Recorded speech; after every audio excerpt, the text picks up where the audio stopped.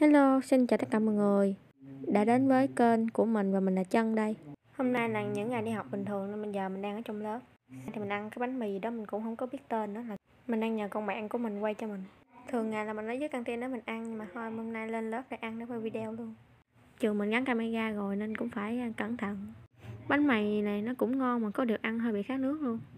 Bạn mình có cho mình hai cái bắp sen nè tới ra chơi rồi thì mình đem cái bọc tép vô chờ một đám đứa bu lại ăn quá trời luôn nè. Bây giờ thì mình đã qua phòng âm nhạc để mình học. Cũng là cô chủ nhiệm của lớp mình. Và bây giờ mình đã về rồi, bây giờ mình đang ngồi ở trước cổng trường. Bầu trời hôm nay rất là thích hợp để chụp ảnh luôn nhưng mà hơi nắng quá, nóng da đầu chết. Không hiểu tại sao hôm nay có thể đẹp như thế. Và mình đã về tới nhà. Gỡ nón ra cất nón chứ làm gì? Vậy đi ha. Cất nón cũng cắt bóp chứ mang da làm chi?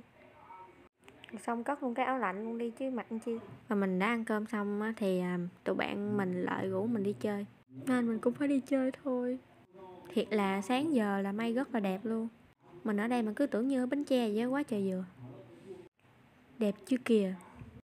Cảnh đẹp gì mà cái điện thoại nó bị cái gì á? Mọi người có biết nhà ai không? Chắc không biết đâu ha.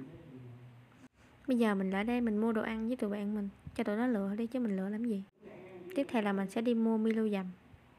Mình mua đem về cho nó tiện. Tụi nó khát nước cái sách nước để uống nè. Xong rồi về nhà uống Milo dầm. Uống cái đó xong thì chuyển qua cái này uống. Xong rồi lại ăn um, rong biển.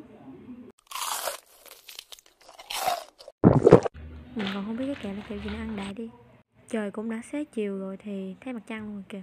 Nguyên ngày hôm nay bầu trời đẹp quá liền luôn á.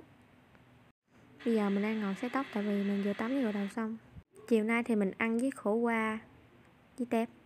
Trời mẹ ơi ăn xong cái trời tối thui luôn rồi mọi người. Trời âm u á nhưng mà không có mưa. Ăn xong thì mình uống cái ly cà phê này nè.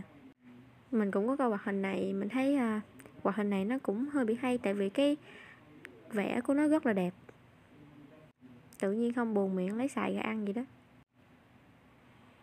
Xài không chua mà nó sắp chín luôn rồi không ngon chút nào. Thôi mà kệ ăn luôn xong rồi thì mình sẽ đi đánh răng tại tối thui tối thui luôn rồi. Mình thì mình đánh răng với muối tại vì cho nó chắc răng vậy đó. Tắt đèn rồi mình tới đây mình nằm mình bấm điện thoại nào mình buồn ngủ thì mình ngủ. Mình đang coi livestream của cái anh uh, khoa học thế giới gì đó mình cũng không nhớ nên mình phải coi gì đó. Bây giờ mình chuyển qua mình xem tiktok nè. Vậy là cũng đã hết một ngày của mình rồi thôi bye bye mọi người.